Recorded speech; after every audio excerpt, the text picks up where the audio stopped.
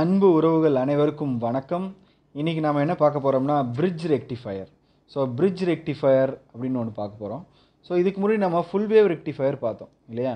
So full wave rectifier தான் இன்னொரு type தான் பிரிட்ஜ் ரெக்டிஃபயர் ஓகே தென் எதுக்காக ஃபுல் வேவ் ரெக்டிஃபயர்லேருந்து பிரிட்ஜ் ரெக்டிஃபயருக்கு வந்தோம் அப்படின்னா ஃபுல் வேவ் ரெக்டிஃபயரில் ஒரு பிரச்சனை இருக்குது என்னென்னா இதில் ஒரு சென்டர் டேப் டிரான்ஸ்ஃபார்மர்னு ஒன்று யூஸ் பண்ணுறோம் இல்லையா?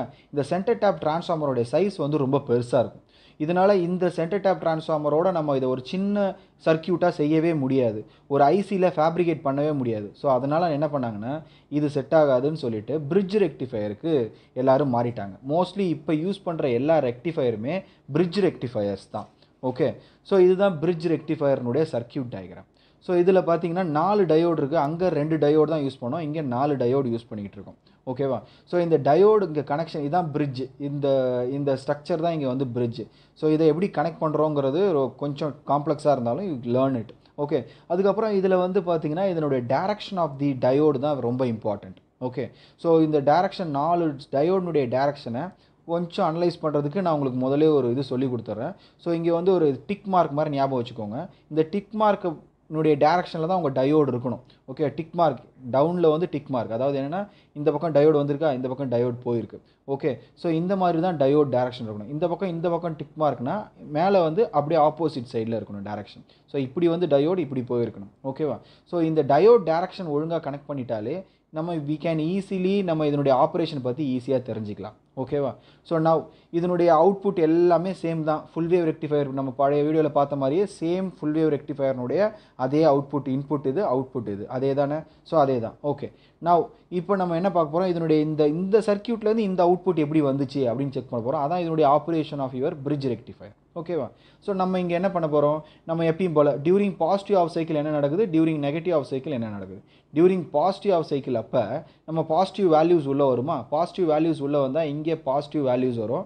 இங்கே என்ன இருக்கும்? இங்கே இது கிரவுண்டு இல்லையா? அப்போ இது ஜீரோ வேல்யூ ஸோ இங்கே ப்ளஸ்ஸு இங்கே ஜீரோ அப்போ இங்கே ஹை இங்கே லோ அப்படின்னா இதனுடைய டயோடினுடைய கண்டிஷன் என்ன? ஆன் கண்டிஷன் ஸோ இது ஆன் ஆயிருக்கு. டி ஒன்ங்கிறது ஆன் ஆயிருக்கு.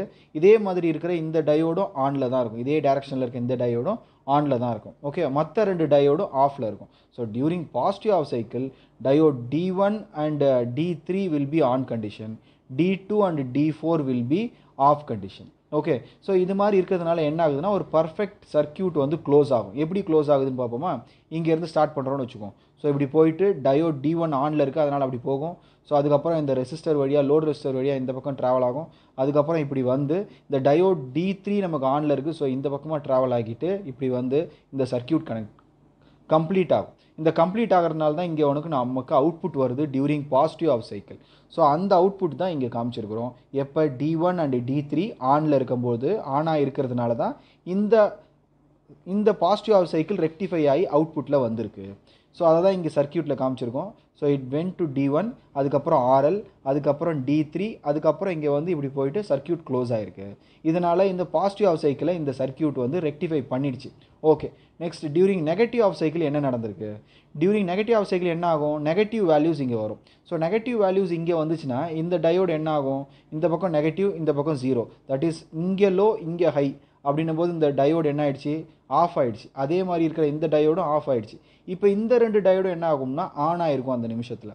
ஓகேவா ஸோ இந்த ரெண்டு டயோடு மூலிமா இந்த சர்க்கியூட் க்ளோஸ் ஆக போகுது. எப்படி க்ளோஸ் ஆக போகுது? ஸோ இந்த பாயிண்ட்லேருந்து எடுத்துக்குவோம். இப்படியே வரும் கரண்ட்டு ஸோ இந்த டி டூ மூலிமா ட்ராவல் ஆகி இந்த ரெசிஸ்டரில் கிராஸ் பண்ணி அதுக்கப்புறம் இப்படி ட்ராவல் பண்ணிவிட்டு டி ஃபோர் ஆனில் இருக்குது அதனால் டி ஃபோர் மூலிமா ட்ராவல் பண்ணி இப்படி போய் இந்த சர்க்கியூட் இப்படி வந்து க்ளோஸ் ஆகிருக்கும் ஸோ அதை தான் நம்ம இங்கே காமிச்சிருக்கோம். ஸோ இங்கேருந்து ஆரம்பித்து டி டூவில் போயிட்டு ரெசிஸ்டருக்குள்ளே கனெக்ட் ஆகிட்டு டி ஃபோர் மூலிமா கனெக்ட் பண்ணி இங்கே வந்து சர்க்கியூட் வந்து க்ளோஸ் ஆகிருக்கு ஸோ இந்த மாதிரி சர்க்கியூட் க்ளோஸ் ஆனதுனால நமக்கு நெகட்டிவ் ஆஃப் சைக்கிளும் ரெக்டிஃபைட் ஆகிட்டு அவுட்புட்டில் வந்திருக்கு. இது எதனால் வந்திருக்குன்னா D two D four on கண்டிஷனில் இருந்ததுனால இந்த ரெக்டிஃபிகேஷன் நடந்திருக்கு.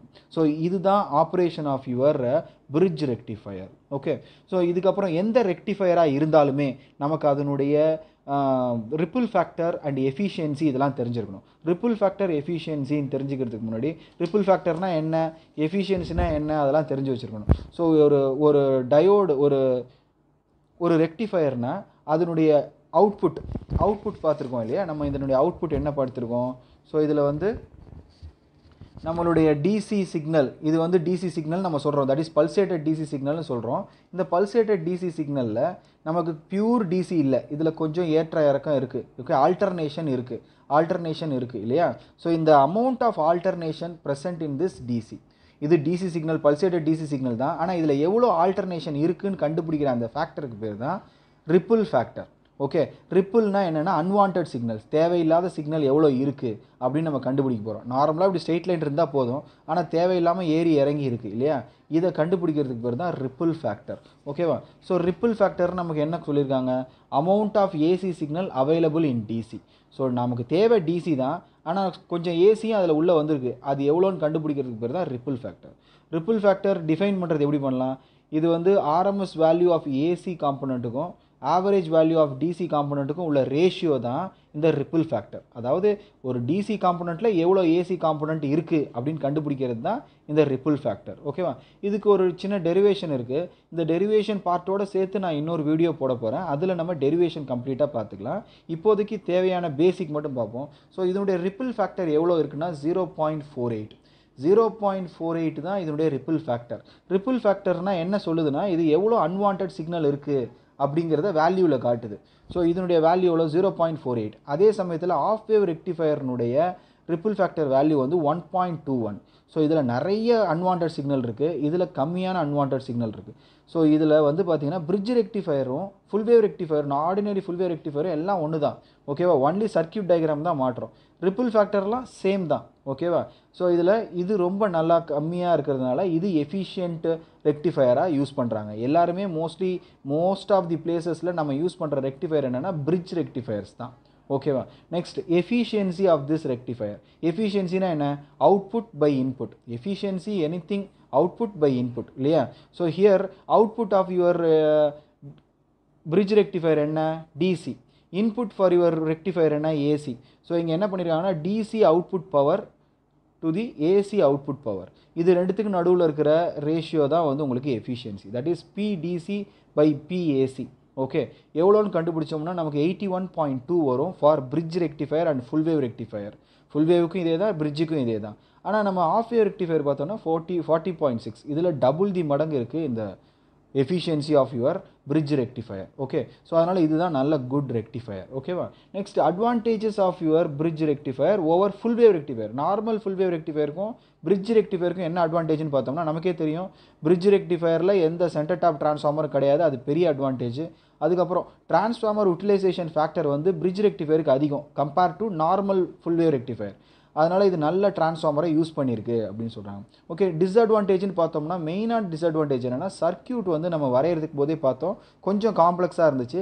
So circuit is complex one of the disadvantage ரெண்டாவது என்ன டிஸ்அட்வான்டேஜ்னா அங்கே இங்கே வந்து நம்ம எவ்வளோ நாலு டயோடு யூஸ் பண்ணுறோம் அதுவே நார்மல் ஃபுல் வேவ் ரெக்டிஃபயரில் நம்ம ரெண்டு டயோடு தான் யூஸ் பண்ணுவோம். ஸோ இது இன்னொரு disadvantage for your bridge rectifier okay so இந்த வீடியோவில் நம்ம என்னென்னலாம் பார்த்தோம்? What is a bridge rectifier what is how it is operated எப்படி அது ஆப்ரேட் ஆகுது? Full during positive half cycle என்ன நடக்குது? டியூரிங் நெகட்டிவ் ஆஃப் சைக்கிள் என்ன நடக்குது? அதனுடைய ஆப்ரேஷனை பற்றி பார்த்தோம். அதுக்கப்புறம் அதனுடைய ரிப்பிள் ஃபேக்டர் அதனுடைய எஃபிஷியன்சி எல்லாமே ஆஃப் வேவ் ரெக்டிஃபயரை விட அதிகமாக இருக்குது அப்படின்னு பார்த்தோம். அதனுடைய அட்வான்டேஜ் அண்ட் டிஸ்அட்வான்டேஜ் பார்த்தோம். Okay so I hope you love this video இந்த வீடியோ உங்களுக்கு ரொம்ப பிடிச்சிருக்கும்னு நினைக்கிறேன். இதை ஷேர் பண்ணுங்கள் இந்த சேனலுக்கு சப்ஸ்கிரைப் பண்ணுங்கள் சிஸ்டமிசம் கண்டினியூஸ்